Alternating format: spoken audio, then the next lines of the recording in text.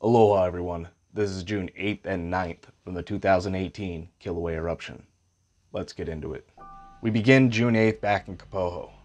The coastal community has been utterly devastated over the previous days by the ocean entry from Fissure 8. However, by this point, the primary activity of the ocean entry is shifting further to the south and away from the remaining homes in the Kapoho farm lots.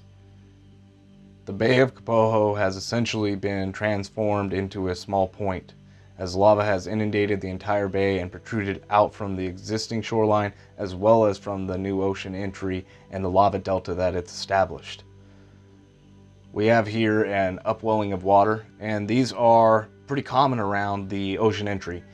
The upwellings reach out about a thousand feet or up to a thousand feet from the new coastline and these indicate that the lava is being transported underneath the surface of the ocean before it is emerging and being met with the seawater, which is then creating these convection zones. And these are the main indicator that the ocean entry is happening not only at the surface where we can see it, but under the water as well. Back up slope at the eruptive vent to Fissure 8, we find not much has changed. It's been pretty consistent for the past couple of days, and that's going to be the status quo going forward for the next couple of weeks as well.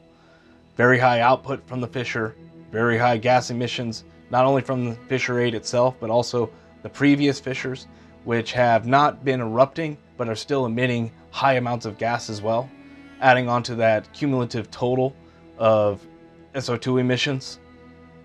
The fountain height of Fissure 8 has fluctuated only between 160 and 220 feet.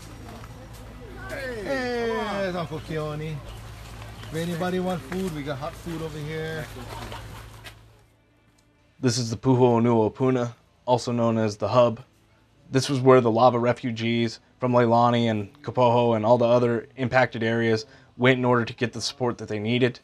Uh, from anything from a hot meal to the utensils or supplies that they might need or left behind to the emotional support to get through this trying time. The community is also coming together in other ways. One of those ways is the building of 20 tiny homes for those that have lost in the eruption and have no place to go.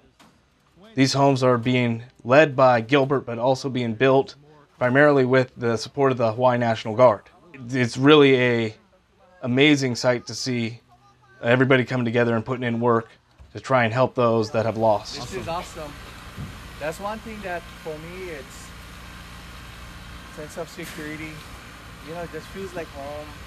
Somebody can turn on lights so it really feels give these people like one home. June 8th, around 10:30 p.m.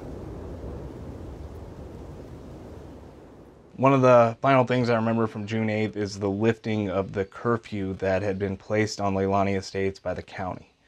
Now, the, there's two separate systems in place. One is the placard system, which meant that you had to establish residency inside the subdivision in order to gain access to it.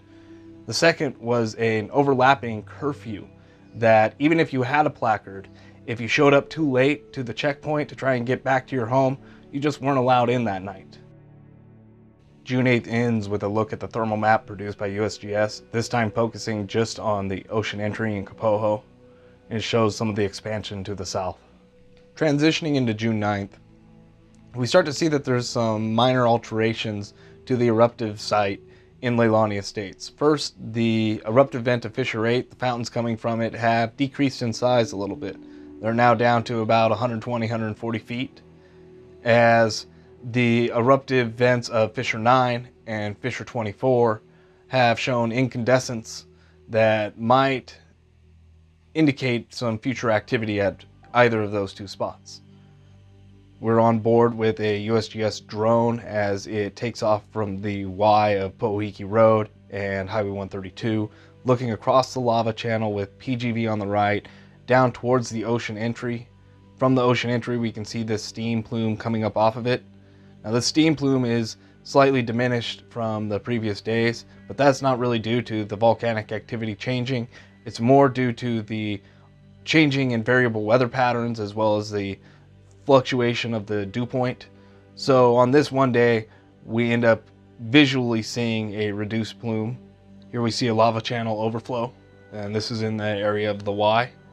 These overflows are channel building events, as we've discussed previously, but they do have the propensity to start fires when they get into some of the drier grasses, like the sugar cane seen here. Now, this cane grass isn't entirely dry, it's still relatively green, and it burns pretty slowly. It smolders, but the fire is able to make some advancement.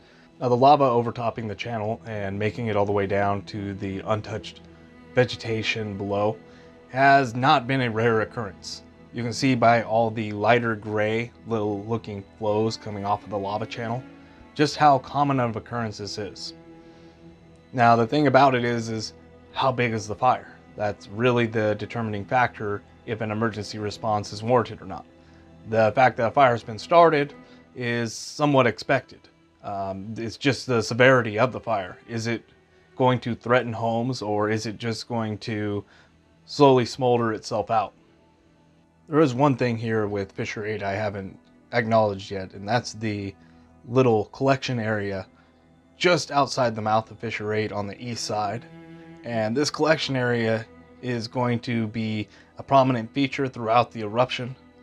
One of the surprising things to me is just how deep it ends up being. Once the lava drains away is when we finally get to see just how deep it is. And it's got to be 80 feet, 70 feet deep. It's just a sheer vert wall once you get to see it after the lava drains. That'll do it for June 8th and 9th from the 2018 Kilauea eruption. This episode, we saw the continuation of the eruption of Fissure 8 and the ocean entry in Kapoho Bay, as well as touched upon some of the relief efforts that the community is organizing in order to help lava refugees make it through this time. Thank you for joining me. Until the next one, aloha.